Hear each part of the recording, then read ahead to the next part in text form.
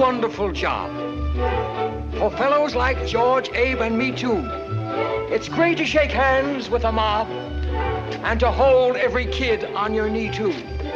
Every word that I speak goes into headlines. When I speak, all the papers hold their deadlines. But I've found a way of dropping a hint or a glint of the truth that the boys cannot print.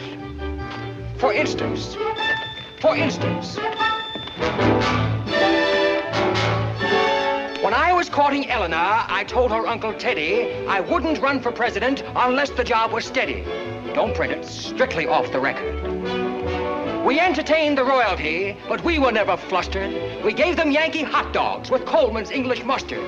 Don't print it, strictly off the record. It's pleasant at the White House, but I'll tell you how I feel. The food is simply terrible, just sauerkraut and veal. If Mrs. R would stay at home, I'd get a decent meal. But that's off the record.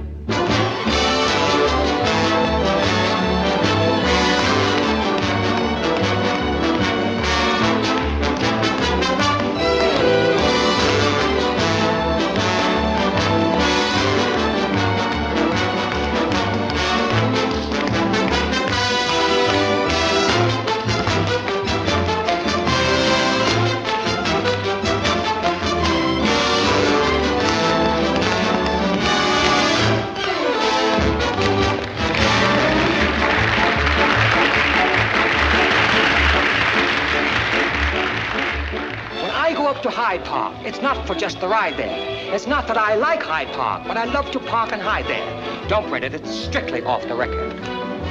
I sit up in my study writing gags for Mr. Ickes and insults for the gentlemen who'd love to slip him Mickeys. Don't print that.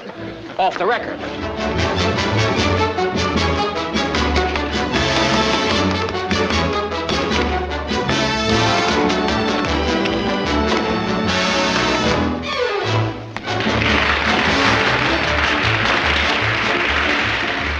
Scrapped the Prohibition Act when we required a bracer and finished up the Boulder Dam to give the boys a chaser.